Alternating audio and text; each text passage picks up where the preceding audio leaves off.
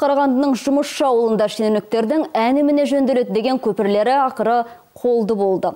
Жол өткерін тапатал түсте ұрлағандар өздерін әкімдік қызметкеріміз деп таныстырып, темір бөлшектерді камазға жүктеп әкеткен көрінеді. Енді кесірін жергілікті тұрғындар көріп отыр.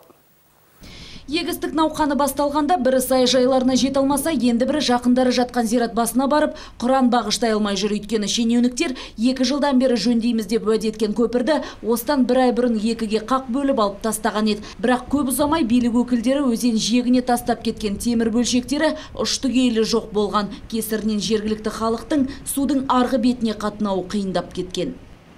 Ұзындығы шамамен 10 метрден асатын мына көпір арқылы тұрғындар саяжай мен зират басына баратын еді. Бірақ осыдан үш күн бұрын өздерін әкімдік қызметкеріміз деп таныстырған белгісіз біреулер жол өткелін ұрлап әкеткен көрінеді. Енді халық жолдың аржақ бетіне 15 шақырым жерді айналып өтуге мәжбүрміз дейді.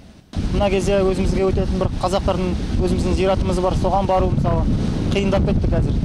Осы жолмен мына үлкен трассаға шығуға қиын қазір жұма сайын намазға неге неткенде кісілер келіп бақыштаймыз құран бақыштаймыз деп жатқандар қайтып кетіп жатыр өйткені көпірді алып тастапты деп шулап жатыр. Енді өзіміз ойлаймыз енді керек көпір ол.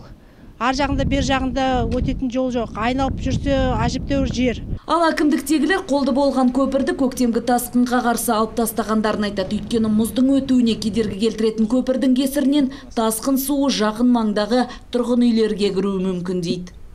Рабочий елді мекеніндегі солонка өзенінің үстінен өтетін көпірді бөлшектеу туралы шешім қабылданды. Себебі су тасу кезінде көпір астында мұздарды тұрып қалу қаупі жоғарылаған.